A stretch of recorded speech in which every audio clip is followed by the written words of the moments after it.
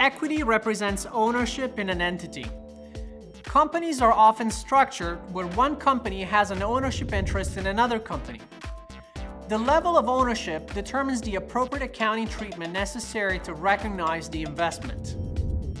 There are three methods to recognize equity investments in another entity. The three methods are the cost method, the equity method, and the consolidation method. In accordance with GAAP, the differences between these three methods are based on the percentage of influence or control that an entity exercises over another entity by virtue of its ownership interest.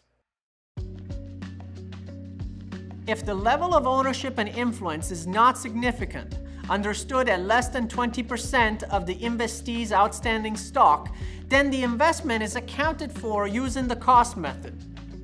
In these situations, the investment is first recorded at cost and then carried at fair value. Therefore, if the value of the investment increases or decreases, the investment will be written up or down on the balance sheet to reflect fair value. For example, Lucky Corporation purchases 10% of Money Corporation for $1 million on January 1, 2018. At the end of the year 2018, Money Corporation announces it will be paying out a dividend of $20,000 to its shareholders.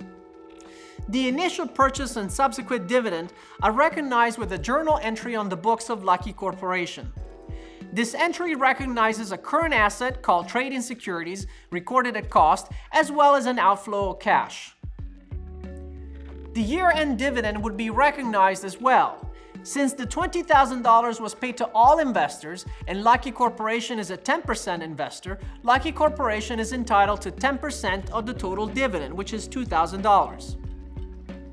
Suppose that the $1 million stock investment is appreciated by 5% at the end of 2019. This fluctuation is recorded as unrealized gain on trading securities, which is included in earnings on the income statement, and then with the corresponding increase to the carrying amount of the trading securities on the balance sheet. Suppose that on January 31, 2020, Lucky Corporation sells its stock investment for $1,125,000 on the open market. The first step is to record the receipt of cash of $1,125,000. The next step is to remove the investment from the books. The remaining amount is the gain on the sale. Note that the actual gain is $125,000 because the investment was initially purchased for $1 million. However, $50,000 was already included in earnings when the investment was written up to its fair value. If the level of ownership and influence between an investor and investee is significant but does not amount to control, this is understood as more than 20% but less than 50%, then the investment is accounted using the equity method. In this method, profits or losses of the investee company are recorded in the investor company's income statement. The amount of profit or loss that is incorporated and recorded is based on the ownership percentage. For example, Ace Company buys 30% of Bay Company's common stock for $50,000 on January 1, 2018. This ownership percentage meets the threshold for the equity method. Ace Company first makes a journal entry to record the purchase.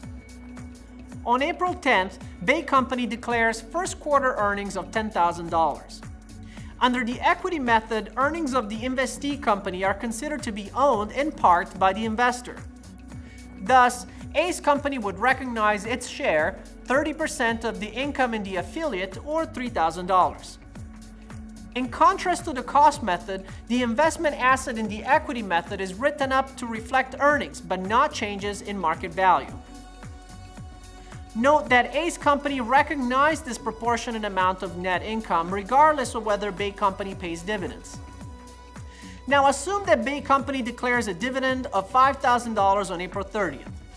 Under the equity method, dividends received are considered a return of invested capital and thus reduce the investment account.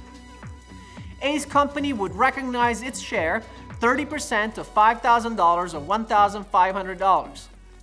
This reduces the investment in affiliate account with a credit of $1,500. Suppose that Ace Company sells its investment for $48,000 on June 1, 2018. The first step is to record the receipt of cash and then remove the investment in the affiliate account at whatever balance it currently stands. If the entries result in a debit shortage, that debit represents the loss on the sale of the investment. If the entries result in a credit shortage, that credit represents the gain on the sale of the investment. If the level of ownership and influence between an investor and investee amounts to control that is understood as more than 50%, then the investment is accounted for using the consolidation method.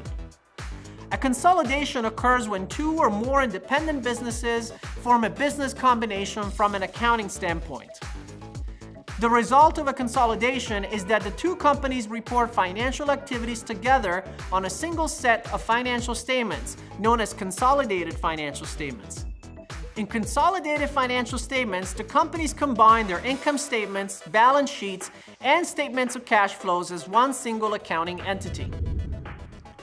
The basic idea of consolidation is straightforward, but the accounting practice can be complicated. The date of control is the date of acquisition, and a market price is established for the entire purchase. Specific assets and liabilities are identified.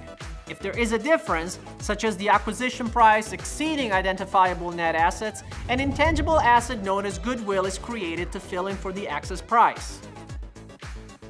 The acquisition of stock is not carried as an investment asset, as it is in the cost method or the equity method. Rather, revenues and expenses of both companies are reported together after control is established. Prior to control, each entity reports separately.